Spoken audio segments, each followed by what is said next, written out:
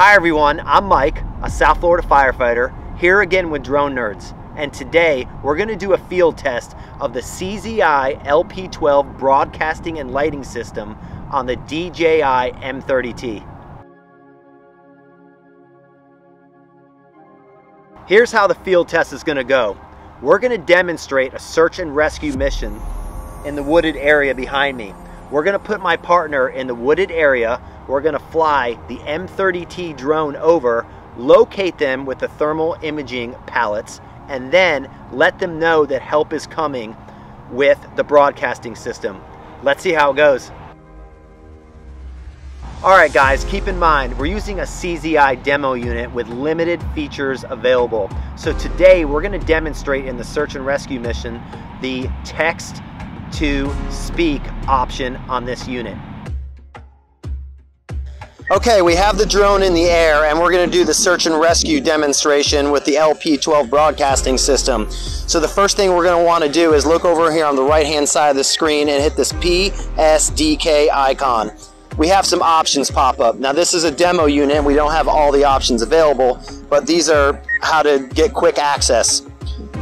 To get better access, we click over here the right hand side and we have our PSDK and you can see at the top it says text to speech, which we're going to demonstrate here in a minute. Then you have some more options. Uh, the tone, USA English, and we have uh, many options available to us. And then you have your volume. We're at 70% right now. We have a siren that we can use and hit play. And then we basically have a bunch of uh, gimbal options right here.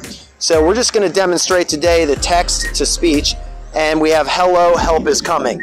So Let's do the search and rescue. I'm going to hit my infrared camera on. Right now I have it on white hot color palette. Let's switch the color palette to iron red. This is daytime in South Florida. We have some overcast conditions with about a 15 mile an hour wind. So this is the wooded area where someone was reported missing. We're going to lower the drone and fly in here a little bit. And Let's pan this up and look, th there we go.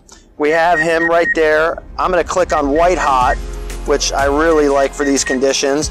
And we'll fly in here just a little bit. We've located him.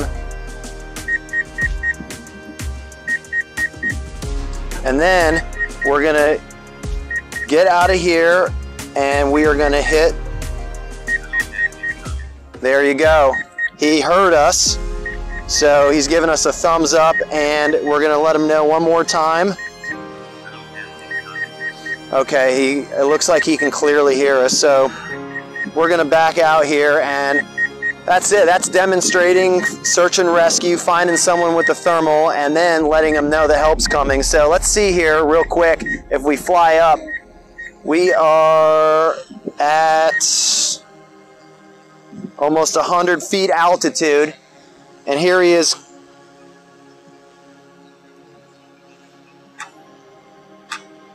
There he is right there. Right here, we're in the iron red. Let's do black hot real quick. A little harder to see him. There we go. See him moving around right there. And we're going to go back and see if we can uh, have him here. Yeah, he heard us 100 feet high at 70% volume. So that's good to know. Okay, so that was a demonstration of the LP12 broadcasting system used with the thermal imaging camera finding my friend in the woods back here. Keep in mind that we use the text to speech option. You do have the option to do a talk to speech, which is available on this broadcasting system. As you can see right here, the drone is about 150 feet behind me and we have it at 60 feet in the air. And if I go on my remote controller right here, I have hello, help is coming. Now I'm at 70%. I'm gonna hit send. Hello, help is coming. I can clearly hear that.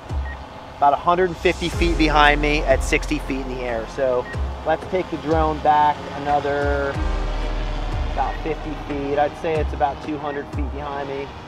Let's go up to 100 feet. Okay. I'm gonna go back and hit send again. I can still hear that pretty good. So it's not too noisy out here in the field, but Um, I think even if you have some noisy environments, you're still gonna be able to hear this good.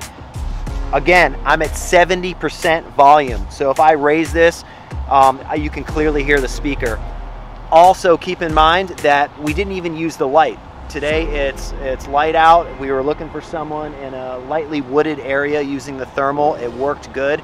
But if you add the night to it, you have the thermal imaging camera with the light option. So I really like this payload for the M30T. Uh, it's already a feature-heavy drone. I think this is huge for search and rescue, and I think it's a it's a different. Uh, I think it's definitely an asset for first responders, police, and firefighters. This has been Mike with Drone Nerds featuring the LP12 lighting and broadcasting system on the DJI M30T. I loved how easy it was to access the interface of the broadcasting system, how easy it was to use. If you have any further questions or comments, feel free to leave them below or contact us at experts at dronenerds.com. Have a nice day.